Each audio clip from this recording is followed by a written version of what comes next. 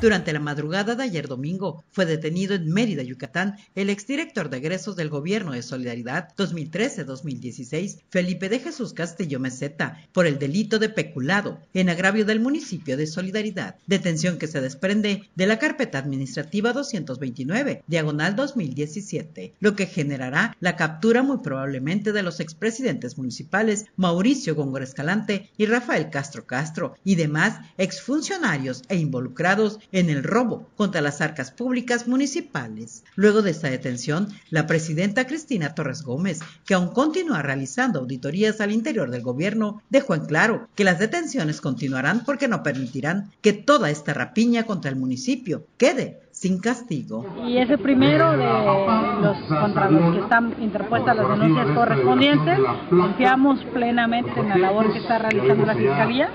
y ahora ya es manos después de control para poder seguir el proceso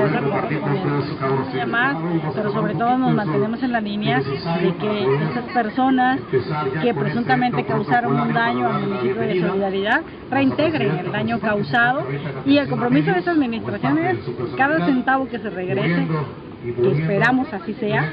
confiamos en que así sea, se enviar a deuda. No se va a usar para gasto corriente, salvo que sean federales porque están etiquetados. Son de las denuncias de, este año, las que presentamos este año, que tienen, recordemos que las primeras fueron eh, indirectas por ejercicio indebido de la función pública, las de peculado son las de este año, que son aquellas que eh, directamente causaron un daño, acciones que directamente causaron un daño patrimonial al municipio. Con imágenes de J. de la Rosa para Notivisión, Lourdes Mata.